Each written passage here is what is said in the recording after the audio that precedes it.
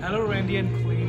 Hope you're doing well. It's Manpreet again. Just want to say thank you for your purchase yesterday and congratulations on the new vehicle. You have my number. Let me know if you have any concerns regarding it. Other than that, I'll see you on Saturday. Thank you.